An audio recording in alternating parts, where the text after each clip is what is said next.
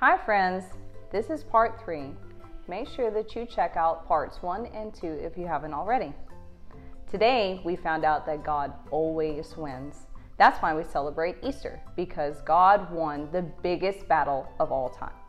Let's thank God now for how He always uses His strength to show us how much He loves us. Now, I want you to stand, if you can, wherever you're at, and repeat after me God sent Jesus to earth because He loves us. Jesus traveled all around telling people about God's love. I want you to march in place as we give Him thanks for this. Thank you, God, for sending Jesus to earth. Now I want you to quickly sit down. Now listen. When Jesus came to earth, he shared that he is God's son. Some people didn't like that, so they put him on a cross and he died. And it was very sad, and it may have felt like God had lost. But this was the part that God and Jesus planned to win the whole time.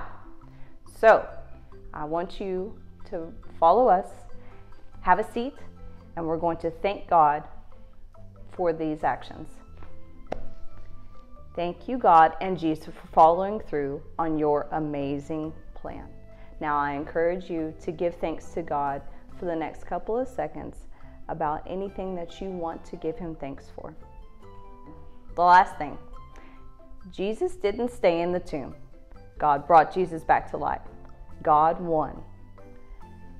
We're going to thank God for bringing Jesus back to life. Thank you, God. Thank you, Jesus. For bringing Jesus back to life. Amen. Amen. No one is stronger than God. No one loves us more than God does. No one can beat God because God always wins. This week, ask God for help and remember that He wins. God may not always give you what you want, but He will always give you what's best for you. Thank you, Miss Samantha. Hey, what's your favorite thing about Easter? Miss Abby, it's the food. The food. Oh, it is good. I think my favorite thing is the Easter egg hunts. Those are really fun. Yes. Let's see what happens when our friends Peanut and Biscuit try to figure out what Easter is all about.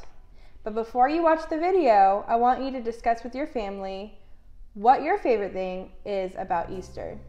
Thank you so much for watching. We hope to see you soon. We love and miss you. Bye. Bye.